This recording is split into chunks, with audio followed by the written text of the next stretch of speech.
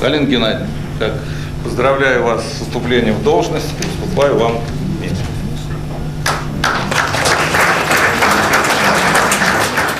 Теперь у городской думы женское лицо. Кандидатуру Галины Андрияновой на должность спикера поддерживают единогласно. Безупречная репутация и 15-летний опыт государственной и муниципальной службы – главные ее козыри. Я хочу поблагодарить всех за оказанное мне доверие и надеюсь, что будет оказана огромная поддержка правительства, Николай Иванович, в вашем лице и города Самары. Это заседание первое и в истории Думы шестого созыва, и в жизни большинства депутатов.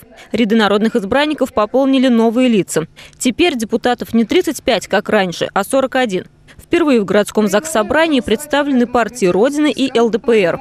Статус-кво сохранили справедливые росы и коммунисты. Лидерство бесспорно принадлежит «Единой России». 36 депутатов – члены партии власти. На первом заседании парламентарии формируют профильные комитеты. Открытым голосованием определяют их руководителей. Новые Гордумы – еще один этап реформы местного самоуправления. Следующий шаг – передать исполнительную власть общественным советам. Не от того, что мы ими не хотим заниматься, а мы хотим, чтобы они постоянно занимались этой работой, и люди не искали правды там, за 3-9 земель, а на месте могли бы э, сходу там, решать многие те проблемы, которые решаются на месте.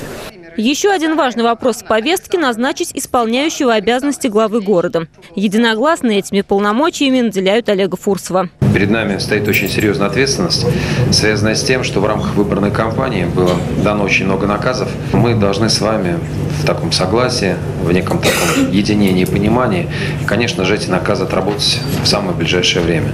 Я, с своей стороны, гарантирую вам, что все наши службы будут сориентированы на то, чтобы пожелания людей были реализованы. Марина Матвеевич, Артем Сулайманов. События.